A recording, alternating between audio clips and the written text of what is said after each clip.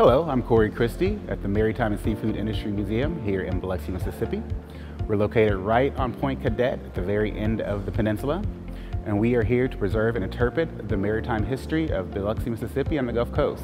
We also have some amazing exhibits here in the museum, including a, a, lighthouse lens that comes from the Ship Island Lighthouse that was erected in 1853. Uh, one of our, our, biggest and most well-recognized exhibits is the Nydia sailboat, which is just over 120 years old. We have the automatic shrimp peeling machine, which was invented in 1943 and is another great artifact from the coast. You can visit us at www.maritimemuseum.org or on our Facebook page, just look up the Maritime Museum or Instagram, you can do the same.